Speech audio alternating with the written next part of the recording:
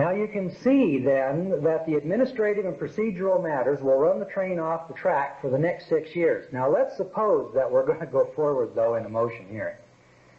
Let's see the court then proceed against me again or against another party. Let's just sit here and argue some motions. Let's just go through the routine of five or six motions. Sometimes I don't raise these administrative and procedural matters and run the train off the track because, you know, if the train's off the track, you can't have any fun. I think that I'm going to have a jury trial finally, and I normally file a folder this thick. I think I have a folder with about two or three motions, and I want to go to trial because I want to get a basic question before the Supreme Court of the United States. And to do that, I had to uh, tone down my entire process because we call this derailing trains. And you know, you get out there and derail the train, it takes a long time to get the thing back on the track, and the government's slow and ponderous. And if you want to have any fun, sometimes you're going to have to uh, waive some of these procedures so that you can get on to the jury trial. But you have to make sure that you have some appealable issues, bedrock, concrete, cast in stone type issues that you know you're going to win on. All right? With that, then, let's take a look at just arguing some plain, everyday garden variety motions before the court. Mr. Cook, this is your motion hearing. You are Mr. Cook, yes. Uh, are you ready to proceed? Yes, Your Honor. May proceed. I believe I'm ready to proceed today. I picked out numerous motions here. I think, Your Honor, that your motions are numbered, and if you'll look in the upper right-hand corner, you'll see some numbers, and I would like to start with number 16. Is the first motion to bring before the court today. That's a notice and demand for a hearing to suppress evidence.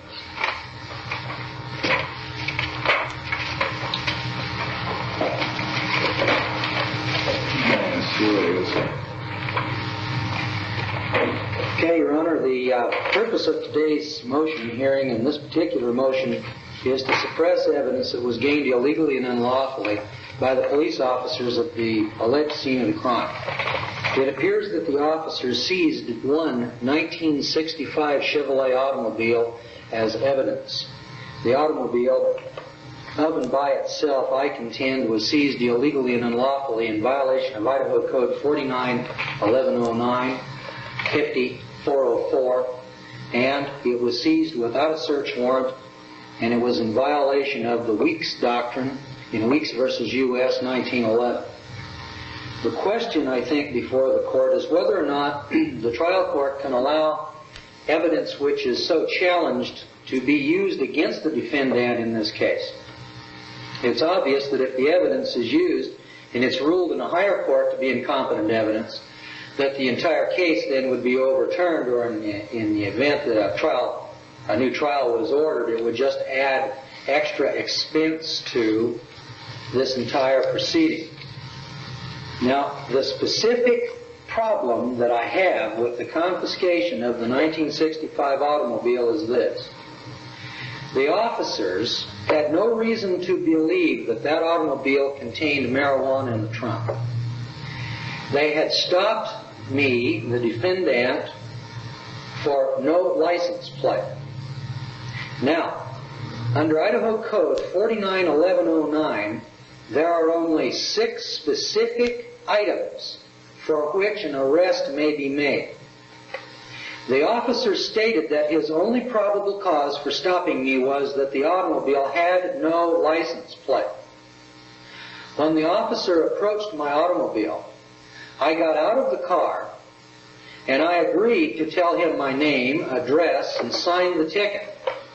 Therefore, the arrest and the impounding and then the finding of the contraband in the automobile were done in violation of state statute. They were done in violation of the Fourth Amendment to the federal Constitution and Article 1, Section 3 of the state Constitution, wherein our state Constitution is bound by the federal Constitution, and it also specifically states that without a warrant, without probable cause, without reasonable suspicion under Terry versus Ohio, that this particular search was illegal and unlawful. And it's for that reason that I wish this hearing to suppress evidence and to have the state then present all of the evidence that it has seized so that this court may at that time, during that hearing, listen to witnesses who were present at the scene or the alleged scene of the crime, the alleged impoundment, and to listen and then weigh my affidavits and to suppress this evidence. Well, um, Mr. Gordon, or uh, Mr. Jones, Mr. Cook, has put on some very good arguments, but um, in the interest of the welfare of the citizens of this state, Mr. Gordon was pulled over because his automobile had no license plate. The defendant is Mr. Cook.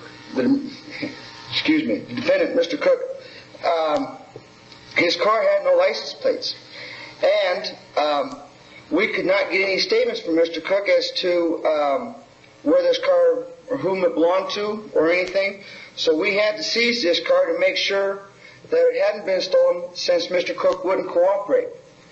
Um, we had every reason to believe, since he wouldn't cooperate, that he had to be hiding something, and we believe that this car at the time may have been stolen or acquired improperly. That's Well, in rebuttal, I think this is a pretty weak argument. The state is attempting to put on its opposition to the uh, evidentiary hearing, and as I've already stated, I'm prepared and I have filed an affidavit with the court stating that the exact circumstances surrounding the seizure of the automobile, and the state has not refuted that affidavit. All I'm here today to do, Your Honor, is to move the court to listen to a hearing to suppress evidence. I'm not here presenting evidence, or nor is the state here to present its uh, rebuttal, but uh, rather just to motion up the hearing. And I'm entitled to that hearing as a matter of due process, and I would contend that if I'm denied the hearing and the opportunity to present witnesses and evidence to show clearly, concisely, and absolutely that the evidence was seized illegally and unlawfully, the court may be led into reversible error through its own omissions by failing to schedule such a hearing. And I think it's in the best interest of the taxpayers and the court, and in the interest of justice, and in the interests of the prosecutor, and in the interests of the defendant, to at least schedule the hearing to listen to the facts, to listen to the evidence. Your Honor. Just a minute. Okay. I think the defendant has uh, gotten the last word here. Uh, It appears to the court that the defendant has uh, presented a substantial case for a hearing to suppress evidence. This motion hearing is not a hearing to suppress evidence, it's merely a hearing to decide whether we will schedule a hearing to suppress evidence, so we don't want to hear the case right now. Uh, We'll set a time at some time and we'll be notified as when the hearing will be held. Well, Your Honor, uh, could we set that, uh, excuse me, Your Honor, Just go ahead. uh, now, could we set a hearing today so that we could get uh, your calendar with mine? My calendar is pretty busy, and I'd like to know if we could have the suppression hearing within the next two weeks. Now, let's see what the court calendar is. Uh, Your Honor, I do have uh, March 8th and 9th open if it's uh, available here to the prosecutor. the court has some cases on that date. How about um, March 15th? Would that be, Well, I'm terribly sorry, Your Honor, I'll be in trial March 15th. well, the next available date for the court is March 22nd then, so All right, I have March 22nd open. how about the state? Is the state, uh, I'm sure somebody from the state will be ready to proceed on that. very good. We'll set the hearing then for March 22nd And what at time? uh, 1:30 PM Okay, in this courtroom. 1:30, March 22nd, in this courtroom, 102. Exactly. Thank you, Your Honor. The next motion I have to present is a notice and demand for affidavit in support of the complaint. Now, Your Honor, I've demanded all of my rights and demanded all of my rights timely. Pursuant to Rule 4, I believe, of the Idaho Rules of Criminal Procedure, I'm entitled to, if I make timely demand, an affidavit and a formal complaint. Now, I've been given these traffic citations, and I contend that the traffic citation does not contain the necessary information and elements su- supporting or substantiating the allegations against me. So therefore, I'd like to demand two things today as a matter of right pursuant to rule. And that is a formal complaint from the prosecutor supported by affidavit or oath at the probable cause hearing so that I might know who my accusers are, so that I will then know who to subpoena into any further hearings and the trial in my own defense. Your Honor, um, we have um, the affidavit in the form of a, a oral statement taken under oath from um, Officer Deacon um, at the probable cause hearing um, that was held on January 16th, um, at which time the officer did state under oath that Mr. Cook was driving the automobile and did commit said crimes. Mr. Cook? I'm sure that all of this is true, but I'm also sure that the prosecutor is not conforming to the rules. I didn't ask him to tell me who these people were. I said I want it in writing. And I'm entitled to this information in writing as a matter of law. Now, I'm not asking for it, I'm demanding it as a matter of law and as a matter of rule. I want a formal complaint and I want the affidavit in support of the complaint or I want the tape. And I'm entitled to it and I'm simply demanding it and I think that the rule speaks for itself.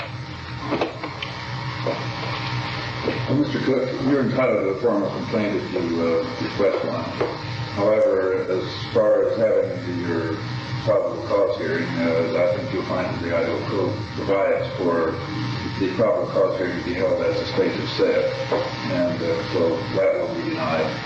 Probable cause has already been held. Your Honor, the court, I perceive, is misunderstanding the point of this particular motion. I'm not asking the court for a probable cause hearing. I'm asking the court for the affidavit in support of the complaint pursuant to Rule 4. Mr. Gordon, uh, uh, testimony given under oath at the probable cause hearing takes place of the affidavit, so uh, you can get a tape of the testimony and that will suffice. Could you order the prosecutor to provide that for me, Your Honor? Yes, you will provide Mr. Cook with a opportunity to hear the tape of the hearing. Yes, Your Honor. Will tomorrow be soon enough? Yes, thank you, Mr. Prosecutor. Next motion I'd like to take up, Your Honor, is motion number 25, notice and demand for right sua sponte.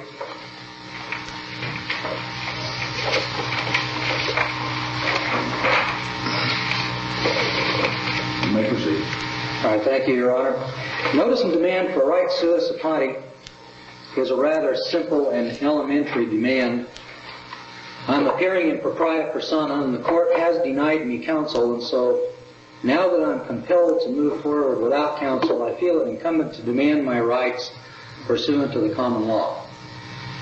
Now, from time to time, certain rules and certain rights may come available to me that I may not be aware of.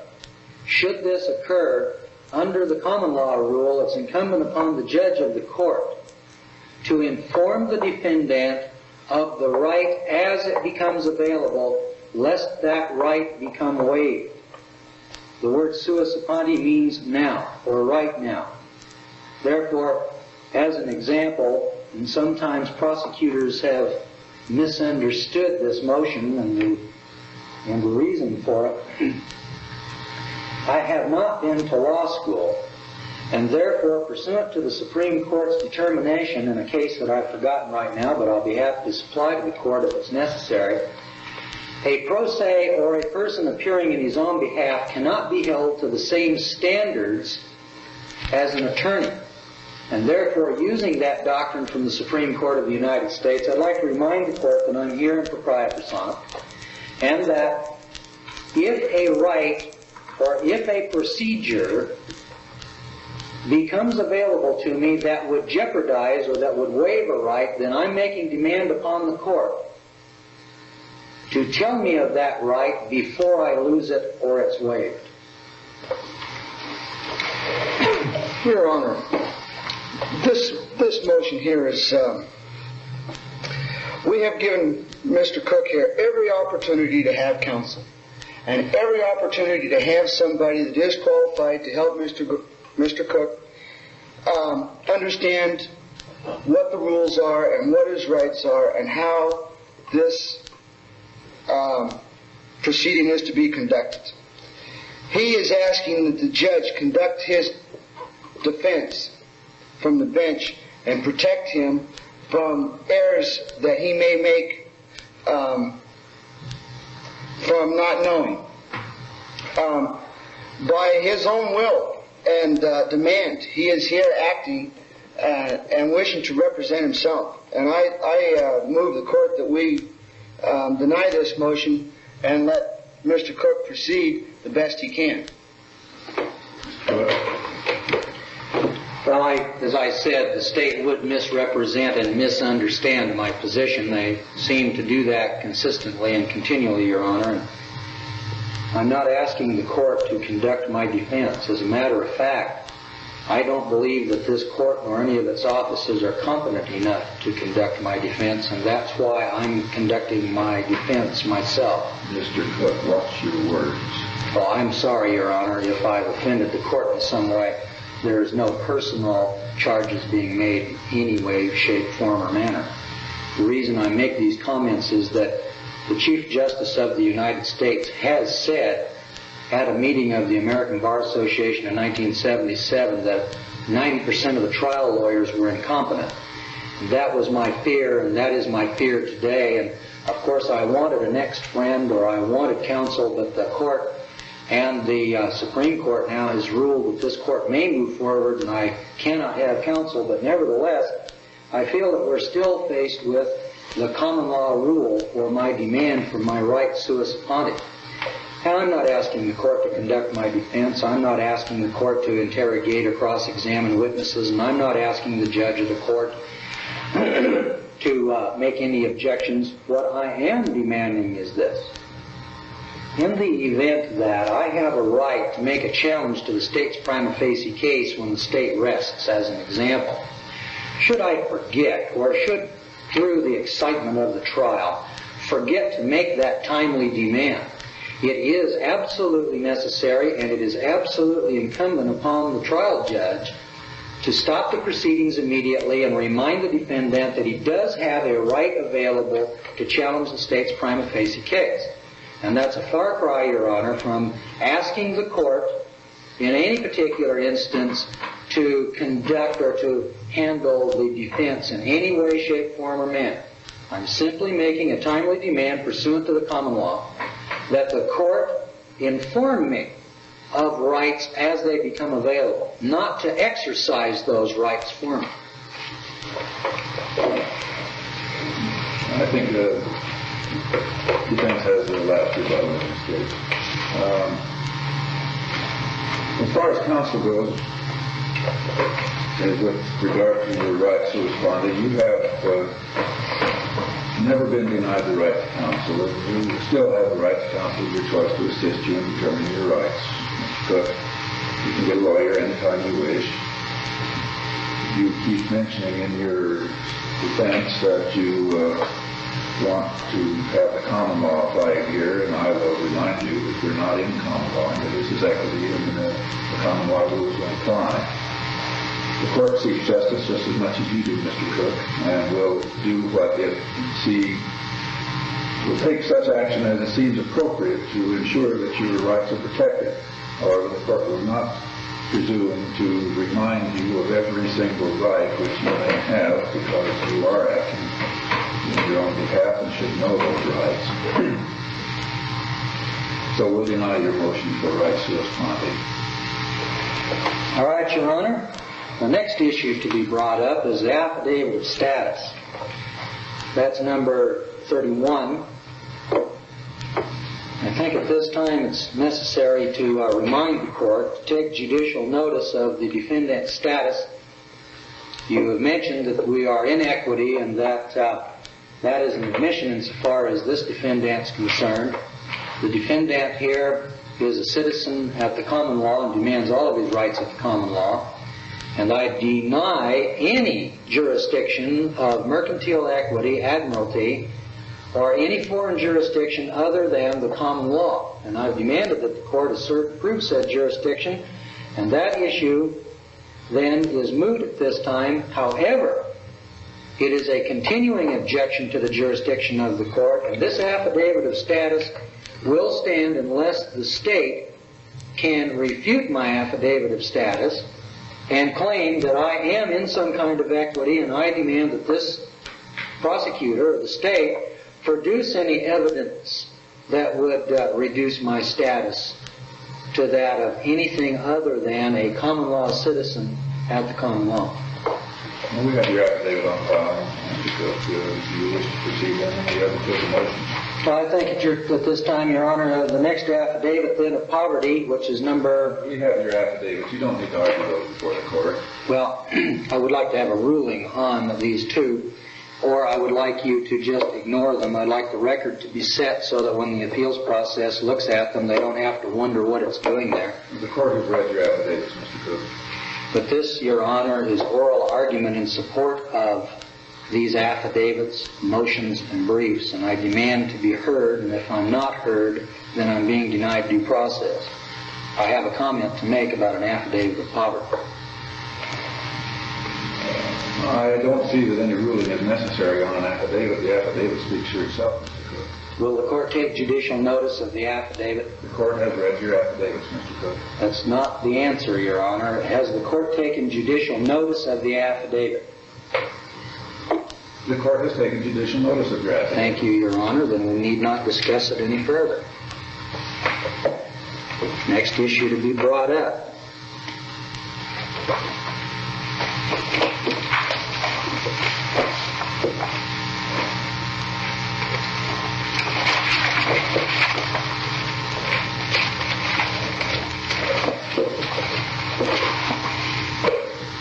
Well, I think at this time, Your Honor, let's take up the subject matter of a notice and demand for rights in support of demand for dismissal. That's number 11.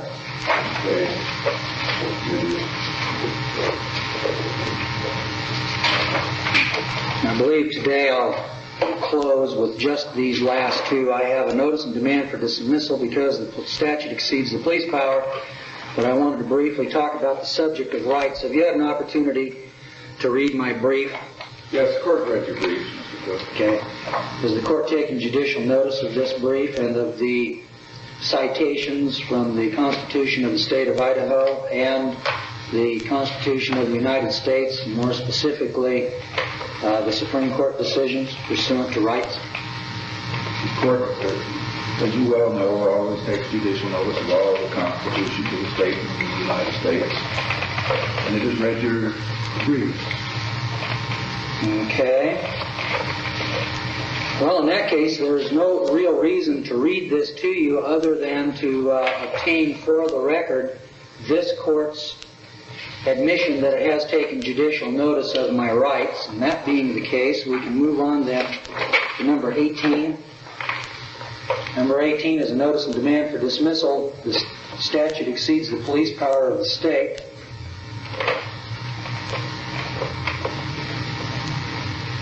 Are you ready? Everybody will find their place. My contention here, Your Honor, is that the executive branch of government is using the police powers to extract taxes from citizens in violation of the doctrine of the separation of powers.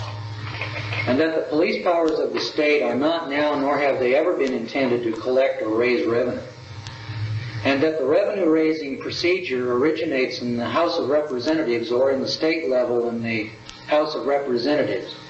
And it does not originate with city councils, county commissioners, or in police departments and sheriff's departments who are issuing traffic citations and tickets for the purpose of dragging citizens who are under contract with driver's licenses, registrations, etc., into the courts so that they can be fleeced or taxed, if we would put it that way, fines, pains, penalties in violation of this doctrine of the separation of powers. Now, this particular case is, is oppressively obnoxious in that the defendant has stipulated that he has no driver's license. And without a driver's license, this court lacks jurisdiction. And so this citizen has been hauled into a foreign and alien jurisdiction for the purpose of collecting taxes using the police powers of the state. The police powers were never intended for this, and my motion for dismissal is based upon this violation of the police powers doctrine. And the brief in support will show you from our state constitution in plain language that how and in what manner this taxation is being extracted or being used to extract funds from citizens.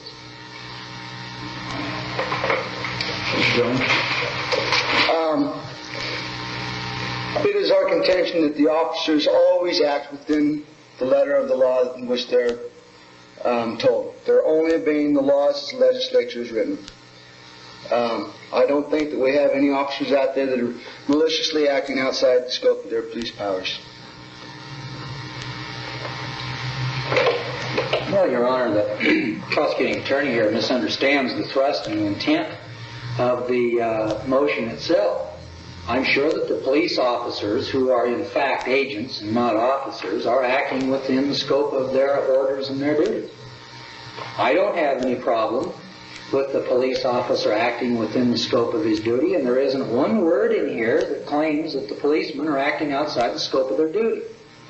The issue isn't the policeman, the issue is the Constitution of the state and the application of the police powers to extract tax money in violation of the doctrine of the separation of powers. We're talking about the doctrine of the separation of powers and the Constitution, not the duties and the orders of a policeman. And I don't think the prosecutor understands the issue. Well, Mr. Cook, I think you're right. Uh, based on what I've heard today, I'm going to dismiss this case. Case dismissed. Uh, thank you, Your Honor.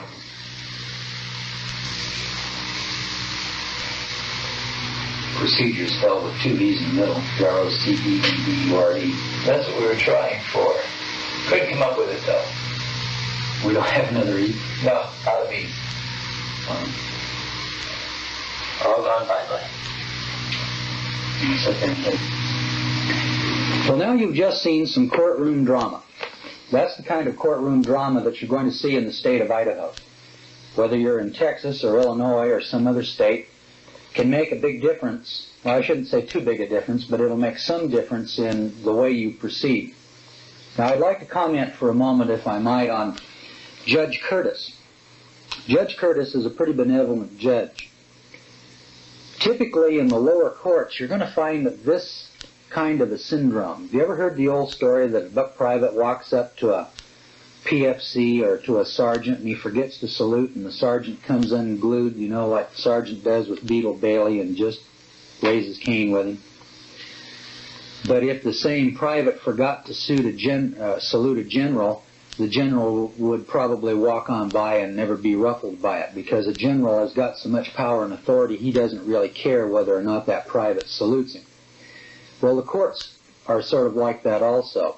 The higher you get and the you know, when you're talking to a Supreme Court judge or you're talking to a, uh, a district court judge, even a court of original jurisdiction, those judges don't seem to hold the same kind of standards of absolute uh, obedience to every rule and crossing every T and dotting every I as do the lower court judges. And they have so much more knowledge and ability. Let me give you an illustration. I was up in our federal district court not long ago, and I won't mention the judge's name because he's probably known coast to coast.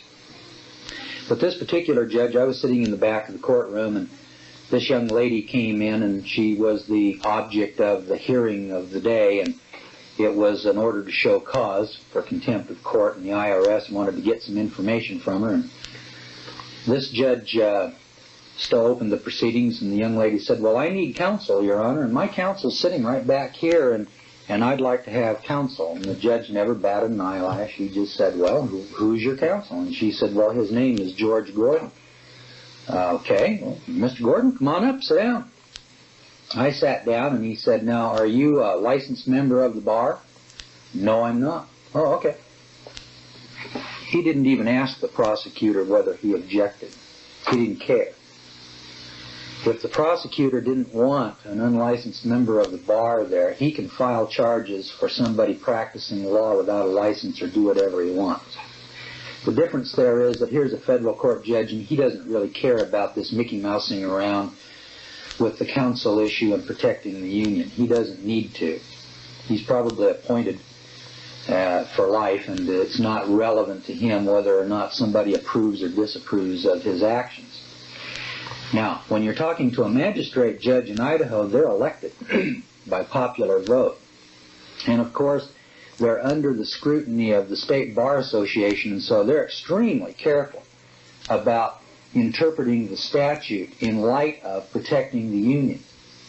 So when you go into the courtroom and you demand counsel and the judge refuses to give you counsel or gives you a hard time or comes down hard on you and puts on the role of the prosecutor, and that you're sitting in there with a prosecutorial judge and a prosecutor, don't even let that bother you. What you need to do is to get your objections in timely. Now, you'll notice that I said that you could appeal these counsel and judicial determinations and uh, uh, jurisdiction to the Supreme Court before you've gone to trial. I don't want to lead you astray there is a, a, particular rule that's involved here in Idaho pursuant to that, and I want to take a moment here and explain that to you because it may or may not be the rule in the state where you are. If you have the trial judge's permission, you can appeal counsel and jurisdiction on up the line until those two issues are decided, or any other major issue under Rule 54.6 that you have the approval of that judge, and you may or may not have that judge's approval. So typically, the way to run a case to the Supreme Court in Washington runs through this scenario. Now listen to this scenario because this is the way it runs all the time, every day, garden variety. You get a ticket, or you have the charge made against you. You walk into the court and you stand mute and challenge the jurisdiction of the court. You file 20 or 30 motions and briefs outlining your theory of the case and your demand for rights. You come into trial the judge railroads you through a kangaroo administrative law court. The jury finds you guilty, or if there is no jury or no court of record, you automatically appeal trial de novo or appeal pursuant to rule. And in this state, it's pursuant to Rule 54 to the district court. The district court will review your case and they will turn it down and you will appeal then to your state supreme court.